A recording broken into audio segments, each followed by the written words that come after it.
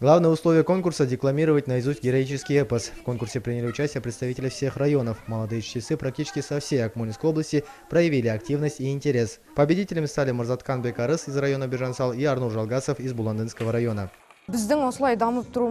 Герои эпосов как показатель истории страны, ее древности, ценности народа, ее духа. Важно популяризировать такие произведения. Они имеют воспитательный эффект.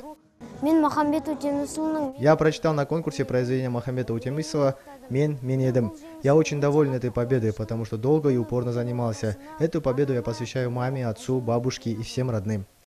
По словам организаторов, было непросто определить лучших в конкурсе. Все юные чтецы показали отличные результаты шынымызды айтайық біз енді бұндай іс шараны бұндай форматтағы іс шараны бірінші рет ұйымдастырып отырмыз Честно говоря, мы проводим подобное мероприятие впервые, и мы не ожидали такого интереса.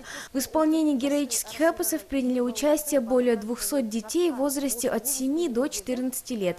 Мы рады, что акмолинцы были активны. Мы рады поддерживать наших юных талантов.